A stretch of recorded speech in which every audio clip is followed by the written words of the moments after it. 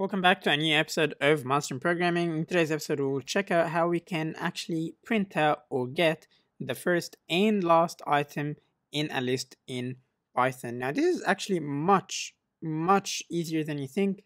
And without further ado, let's just get started in it. So what I'm going to do is I'm going to create a list and it will, will be a list of animals. So I'll just say animals are equal to. I'll open and close a bracket and inside of here I'll just list a bunch of different animals. So I'll start with dog. Uh, let's try put cat maybe chicken. And last thing we can put um, a bird just like this. So now we want to get the first and last item in the list. And obviously you can do something like just printing out animals. And then inside of here saying zero to get the first and then one two zero one two three and then saying something like print animals and then pass in three. And this will work. This will print you the first and last item.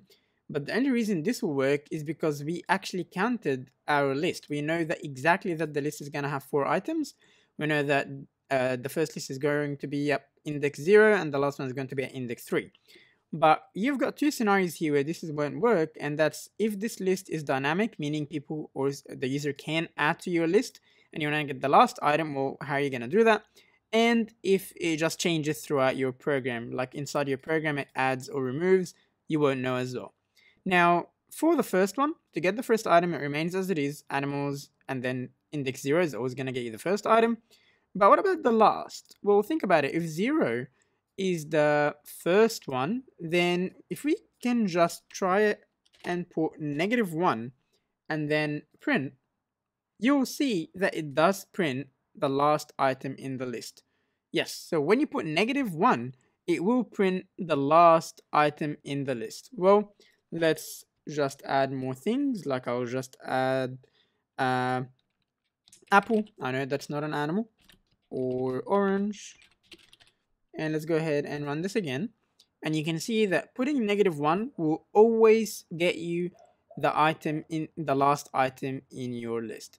Let's go ahead and try put negative two for example and i want to show you what happens. It gets apple. Well what about negative three? It will get us bird. So obviously as you increase the numbers after the negative sign it will keep on going back to towards the list Thanks so much for watching. I hope you did enjoy it and I hope I did explain it properly to you. Please make sure you check out the rest of the list and see you next time.